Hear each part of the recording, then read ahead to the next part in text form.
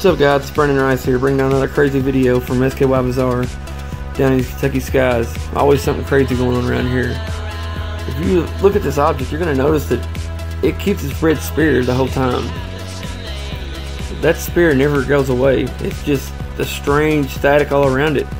I don't know what that is. I don't know if it's kind of energy field or some kind of rings or what. If it could be a red dwarf or could be, you know, a planet with rings around it. I'm pretty sure it's definitely possibly a star.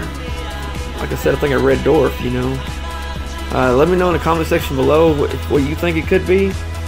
I'd like to hear your all's theories on this, as you've heard mine now. So I would greatly appreciate you guys participate with this and let me know what you think. I would really like to hear what you guys think.